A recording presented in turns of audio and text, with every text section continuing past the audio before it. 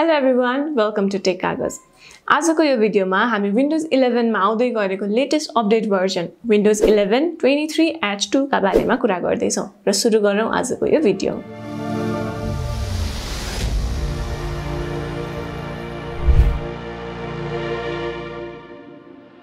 अहिले हामीले प्रयोग गरिरहेको भर्जन भनेको Windows इलेभेनको twenty two H two version हो।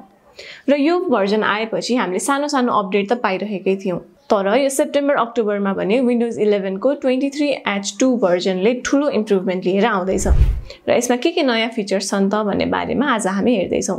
सुरुमा छ विन्डोज को पाइलट माइक्रोसफ्टको को पाइलटलाई विन्डोजले यसमा इन्कर्पोरेट गरेको छ।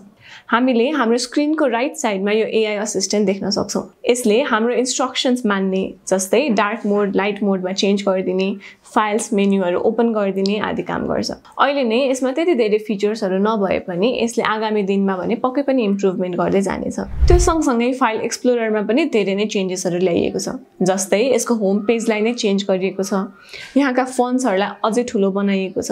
त्यसै गरी यहाँ एउटा छुट्टै फाइल ग्यालरी भनेर एड गरिएको छ। र तपाईँले कुनै इमेजमा क्लिक गर्नुभयो भने त्यसको छुट्टै डिस्प्ले पेन पनि राखिएको छ। तपाईँले यो ग्यालरीमा भएका फोटोजलाई क्रोनोलोजिकल अर्डरमा पाउनुहुन्छ। जसले गर्दा तपाईँले आफ्नो टाइम पेन अनुसार नै त्यो फोटोजहरूलाई भ्यू गर्न सक्नुहुन्छ। त्यस्तै तपाईँले त्यो डिस्प्ले भएका फोटोज अथवा कुनै क्लिक गरिएका फाइल्सको प्रपर्टिज पनि त्यही साइडमै पाउनुहुन्छ र त्यसलाई भ्यू गर्न अझै बढी सहज बनाइएको छ।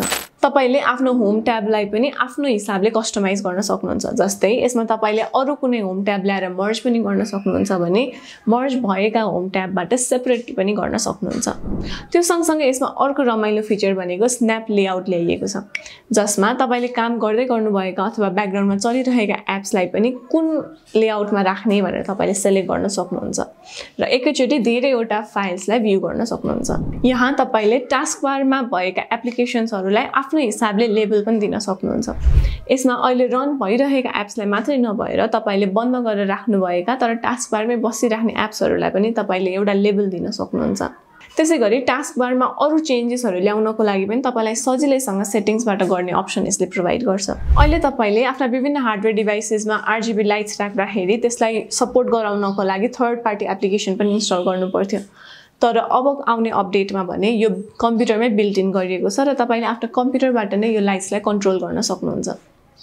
यसका लागि तपाईँलाई कुनै पनि अर्को एप्लिकेसन डाउनलोड गरिराख्नु पर्दैन।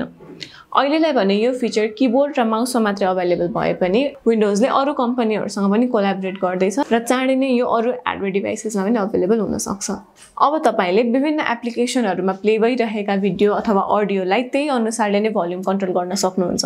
र त्यसका साथै साथै प्लेब्याक डिभाइसेसहरूलाई पनि त्यही अनुसारले नै कन्ट्रोल गर्न सक्नुहुन्छ। ब्याकअप र रिकभरीको अप्सन हेर्ने हो भने यसमा एउटा नयाँ फाइल नै बनाइएको छ विन्डोज ब्याकअप भन्ने। र यसभित्र तपाईँले राख्नुभएका सबै फाइलहरू वान ड्राइभमा गएर सेभ हुन्छन् जसबाट तपाईँले सजिलैसँग ब्याकअप राख्न सक्नुहुन्छ र त्यसलाई रिकभर पनि गर्न सक्नुहुन्छ। त्यसै गरी यसले अझै बढी आर्काइभ फर्मेट्सलाई पनि सपोर्ट गर्ने भएको छ जस्तै सेभेन जेट टिएआर आरएआर आदि। यसले गर्दा तपाईँले कम्प्रेस्ड फाइल्स र फोल्डर्समा अझै राम्ररी काम गर्न सक्नुहुन्छ। डेभलपर्सका लागि भनेर यसमा छुट्टै डेभ ड्राइभ पनि बनाइएको छ जसमा तपाईँले एप्स क्रिएट गरेर त्यसलाई चेक र भेरिफाई पनि गर्न सक्नुहुन्छ। त्यसै गरी तपाईँले भर्चुअल हार्ड डेस्क वा छुट्टै डेभ ड्राइभ बनाएर राख्न सक्नुहुन्छ। अहिले हामीले चलाइरहेको विन्डोजमा नियर बाई सेयरको बेटा भर्जन मात्रै छ। तर अब आउने यो अपडेटमा भने यो स्टेबल भर्जनमा जाँदैछ। जसले गर्दा तपाईँलाई फाइल ट्रान्सफर गर्न अझै बढी सजिलो र छिटो हुनेवाला छ। यदि तपाईँसँग एचडिआर मोनिटर छ भने तपाईँले एचडिआर वालपेपर पनि राख्न सक्नुहुन्छ। तर यसका लागि त्यो इमेज भने जेडएक्सआर फर्मेटमा हुनुपर्नेछ।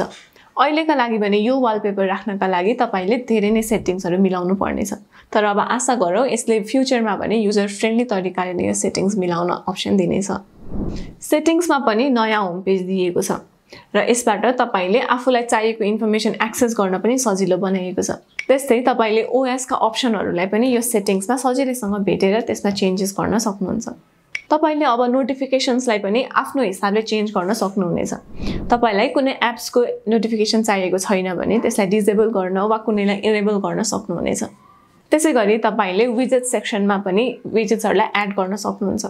र अहिले यो विजेट्सको डिस्प्ले नै एकदमै राम्रो बनाइएको छ। तपाईँले अब टास्क बारमा देखाइने डेट र टाइमलाई आफ्नो हिसाबले त्यसमा हाइड गर्ने वा देखाउने पनि अप्सन चुज गर्न सक्नुहुन्छ। त्यसका लागि सेटिङ्समा गएर डेट एन्ड टाइममा गएर त्यो अप्सन चुज गर्न सक्नुहुन्छ।